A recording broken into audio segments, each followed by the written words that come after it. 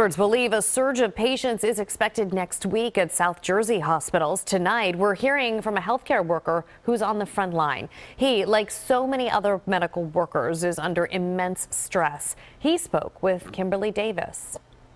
I worry about, um, you know, when is this going to be over? You know, and how long is this going to be? And you know, am I ever going to see my kids again? For the first time, we're hearing from a medical professional on the front lines in a South Jersey hospital dealing with an influx in coronavirus patients. We get issued uh, one N95 mask at the beginning of the week, and we're told to use it the whole week. The irony to that is, is that before this all took place, um, if we were to use any mask more than once, we would get uh, written up for that. This medical worker has asked not to be identified, but wanted to share his story of what it's been like in the hospital as an x ray technician, coming into contact with COVID 19 patients every day at work, using the same potentially contaminated mask for a week. I look forward to Fridays because I know I at least have two days off, that I don't have to stress out about is today going to be the day I get it. Governor Murphy addressed some health care concerns in a news conference on Wednesday. We still welcome anyone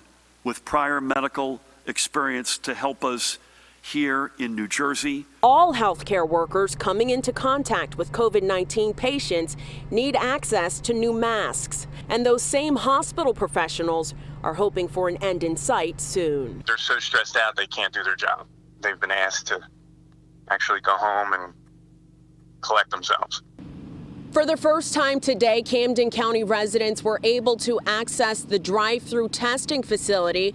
Health officials tell me they were able to test 60 residents in four hours and no one was turned away. We're told those residents should expect their test results in the next four to seven days. The Cooper's Poynt Park testing facility will remain open until April 15th. Reporting in Camden County, New Jersey, I'm Kimberly Davis, CBS 3 Eyewitness News.